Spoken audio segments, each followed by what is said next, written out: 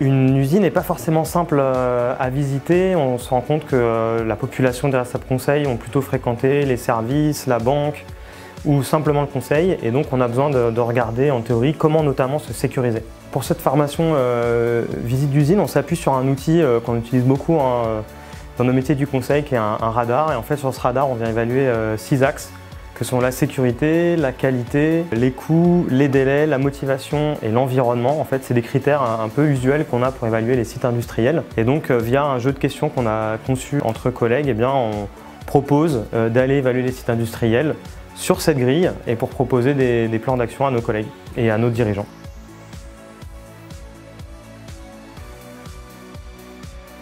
Un sujet d'actualité, que la France est en retard euh, et qu'il faut euh, aider nos chefs d'entreprise à aller vers l'industrie du futur. Et pour cela, toute personne rejoignant la direction de l'accompagnement doit être en capacité de dialoguer et d'amener un chef d'entreprise à se projeter vers l'industrie du futur.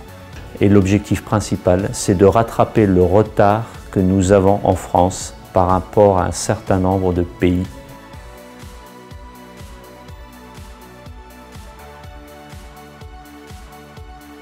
L'industrie du futur, c'est un sujet clé aujourd'hui en France. On a besoin d'accompagner nos petites entreprises PME industrielles sur ce chemin-là. Et pour ça, en fait, on leur propose un diagnostic industrie du futur qui leur permettra d'entamer leur transformation. Euh, au cours de euh, ce diagnostic qui sera opéré par tous les responsables conseils, on va leur permettre d'identifier les sujets prioritaires sur lesquels elles, auront à travailler euh, dans les médias. Ce que je trouve bien aussi, c'est qu'on soit bah, plusieurs à découvrir l'industrie, nos industries en France et qu'on puisse à notre échelle, euh, aider les industriels français à se, à se réindustrialiser.